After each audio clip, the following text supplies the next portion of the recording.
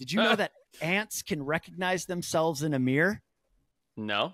Legit. How do you know? How do you know this? Yeah, how do they, did know? Did an experiment. How, how would you formulate this experiment? If, if if I could ask you, like That's a great question. Exactly. Uh, this is who what has we to did go in, first? Like my social psychology class was like, how do you come up with these experiments to test? okay. Do you know how they did it? Yeah, I do. I have Okay. the answer. Yeah. Forrest, do you have to go first because okay. you. I mean, yeah. it seems really challenging. So I think what I would do to see if an ant could recognize itself in the mirror is show the ant itself in the mirror and then paint its thorax or its head or something a different color and then put it back in with the colony and put the mirror down, you know, ar- adjacent to the colony and see if the ant then comes back to look at the marked ant.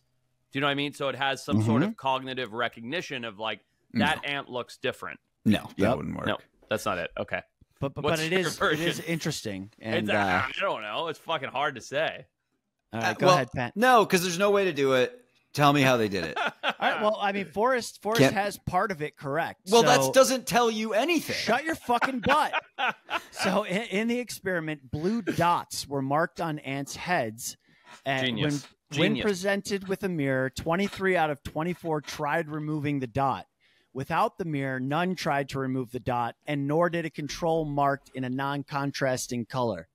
Okay, so they is- saw they saw the dot on their head, Mm-hmm. And tried to get it that off. does it. That ex- that does it. That really does. It's but pretty do clever. so. And we know they know for certain that the ant couldn't feel the paint on their head.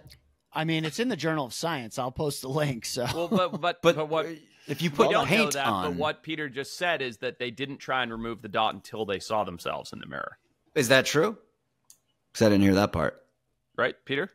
uh, that I think that's what you want it to be. one. That what I want. No, wanted. to because when presented with the mirror, 23 of 24 tried removing the dot. Oh, okay. Without the mirror, none tried to remove the dot. Wow. So he did that say shows that. recognition.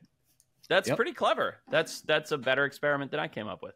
But you Um, had the, the color thing, right? Well, they And also the- had three years to come up with it. You had Yeah, true. one and, and a bunch of funding, and that's all they thought about for a full year. True, So and I had can we- 15 seconds. By the way, Uh, like, what is the fucking like?